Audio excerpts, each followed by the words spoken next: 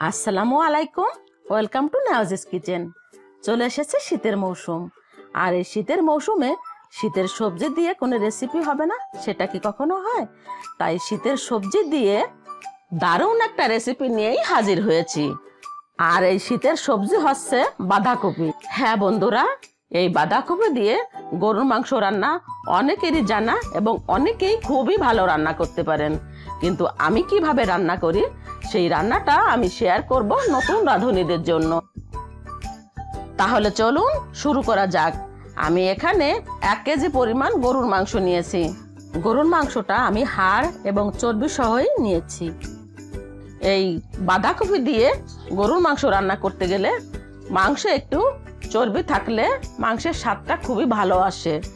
এই মাংসটা রান্না করার জন্য যে যে মশলার উপকরণগুলো নিয়েছি, সেগুলো একটু দেখে নিই এখানে নিয়েছি আমি টু স্পুন হলুদের গুঁড়া, নিয়েছি স্বাদ মতো লবণ।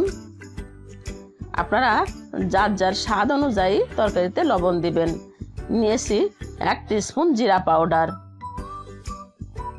টু স্পুন শুকনা মরিচ বাটা। তরকারিতে শুকনা মরিচ বাটা দিলে তরকারির কালারটা খুবই সুন্দর আসে। নিয়েছি টু স্পুন আদা পেস্ট এখানে নিয়েছি টু স্পুন রসুনের পেস্ট এখানে নিয়েছি এক স্পুন ধনিয়া পাউডার আর নিয়েছি চারটা কাঁচামরিচ। এখানে নিয়েছি আমি দুই টুকরা দারুচিনি, আটটি এলাচ, আটটি গোলমরিচ এবং আটটি লবঙ্গ। এই দারচিনি, এলাচ, লবঙ্গ এবং গোলমরিচ নিয়েছি আমি ফোড়নের জন্য। এখানে নিয়েছি এক কাপ পরিমাণ পেঁয়াজ কুচি। আমি পেঁয়াজটাকে খোসা ছাড়িয়ে ভালোভাবে ধুয়ে এভাবে কুচি কুচি করে কেটে নিয়েছি। নিয়েছি এক কাপ পরিমাণ টমেটো। এখানে আমি টমেটো ভালোভাবে ধুয়ে ফালি করে কেটে নিয়েছি। যখন আমি বাঁধাকপি দিয়ে গরুর মাংস রান্না করব এই টমেটোটা অবশ্যই মাংসতে অ্যাড করতে হবে। আমি এখানে নিয়েছি হাফ কেজি পরিমাণ বাঁধাকপি। যেহেতু আমি এক কেজি গরুর মাংস নিয়েছি রান্না করার জন্য, এখানে আমার হাফ কেজি পরিমাণে বাঁধাকপি দিতে হবে। কারণ এসে বেশি দিলে মাংসটা দেখাই যাবে না, তখন শুধু বাঁধাকপি দেখা যাবে। এবং বাঁধাকপিটা একটু বড় করে কেটে নিয়েছি। মাংসটা রান্না করতে গেলে বাঁধাকপিটা একটু বড় হলে ভালো হয়। একটা প্যান আমি চুলাতে বসিয়ে দিলাম। প্যানটা গরম হয়ে গেছে, তাতে আমি এক কাপ পরিমাণ সরিষার তেল দিয়ে দেব। এই রান্নাটা আমি সরিষার তেল দিয়েই করব। মাংসটা সরিষার তেল দিয়ে রান্না করলে মাংসের স্বাদটা অনেক গুণ বেড়ে যায়। এখন আমি গরম মশলার ফোড়নটা দিয়ে দিলাম। ফোড়ন দিয়ে সুন্দর একটা স্মেল আসছে। এখন আমি পেঁয়াজ কুচিটা দিয়ে দেব। পেঁয়াজ কুচিটা দিয়ে আমি বাদামি করে ভেজে নেব। যতক্ষণ না বাদামি রং হয়, ততক্ষণ আমি পেঁয়াজটা ভেজে নেব। পেঁয়াজটা যেন বেশি না পড়ে যায়, সেদিক খেয়াল রাখতে হবে। পেঁয়াজটা বাদামি করে ভেজে নিয়ে দিয়ে দিলাম রসুন বাটা। এখন দিয়ে দেব আদা বাটা। দিয়ে দেব শুকনা মরিচ বাটা। আপনারা চাইলে এখানে শুকনা মরিচ পাউডারও দিতে পারেন। এই কাঁচা মশলা দিয়ে আমি অনেকক্ষণ কষে নেব। যতক্ষণ না মশলাটার থেকে কাঁচা গন্ধ যায়, ততক্ষণ আমি ভালোভাবে কষে নেব। এখন আমার মশলাটা কষানো হয়ে গেছে। এখন আমি অল্প একটু পানি দিয়ে শুকনা মশলার উপকরণগুলো দিয়ে দেব। দিয়ে দিলাম ধনিয়ার গুঁড়া। এখন দিয়ে দেব জিরার গুঁড়া।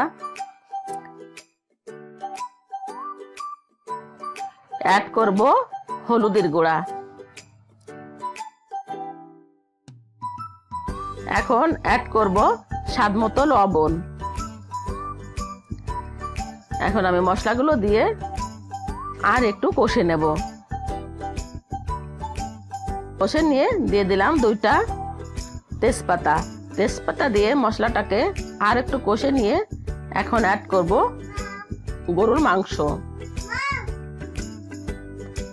মাংসগুলো দিয়ে মশলার সাথে আমি ভালোভাবে মিশিয়ে নেব। এই মাংসটা আমি সম্পূর্ণ মিডিয়াম আছে রান্না করব। এখন নেড়ে চেড়ে ঢাকনা দিয়ে আমি ঢেকে দিলাম। মাংস দিয়ে পানি বের হয়ে গেছে।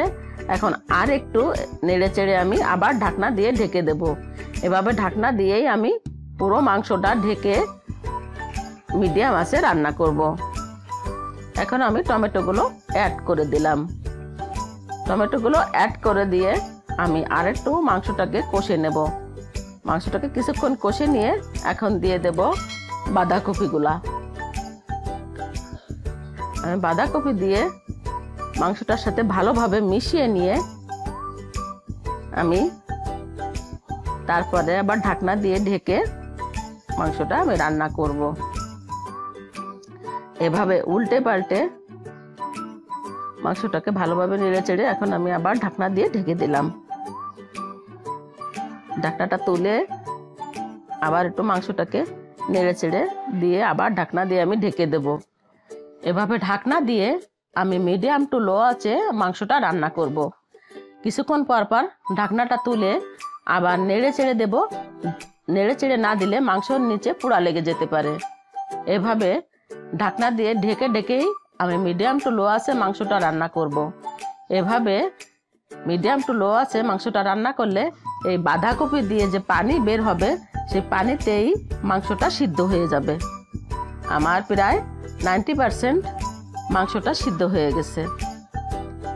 এখন আমি এ পর্যায়ে এক কাপ গরম পানি অ্যাড করব। মাংসে গরম পানি অ্যাড করলে মাংসের স্বাদ সম্পূর্ণই ঠিক থাকবে। গরম পানি অ্যাড করব, এটা আছে, আমি একটু ঝোলের পানি দিলাম। কারণ আমি এখানে কোনো ঝোল রাখব না, এটা একদম ভোনা করে ফেলব। অ্যাড করলাম চারটা কাঁচামরিচ। এই কাঁচামরিচটা মাংস অ্যাড করলে মাংস দিয়ে খুব সুন্দর একটা ফ্লেভার আসবে।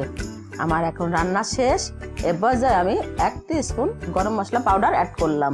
গরম মশলা পাউডার দিয়ে আমি মাংসটাকে ভালোভাবে উল্টে পাল্টে নেড়ে চেড়ে চুলাটা বন্ধ করে দেব। মাংসটা রান্না শেষ, এখন আমি পরিবেশন করে নেব। আপনারা যারা নতুন রাঁধুনি আছেন, তারা বাসায় অবশ্যই এই রেসিপিটি একবার হলেও ট্রাই করবেন। ফ্রেন্ডস অ্যান্ড ফ্যামিলির সাথে শেয়ার করবেন। এবং কেমন লেগেছে আপনাদের মূল্যবান মতামতটি আমাকে কমেন্টে জানাবেন। এবং নতুন কোনো প্রশ্ন জানার থাকলে আমাকে অবশ্যই কমেন্টে জানাবেন, আমি আপনাদের উত্তর দিব।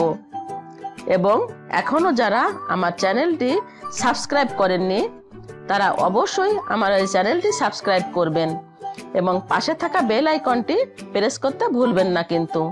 যখনই কোনো নতুন ভিডিও আপলোড হবে, তখনই আপনাদের নোটিফিকেশনে সবার আগেই চলে যাবে। ধন্যবাদ।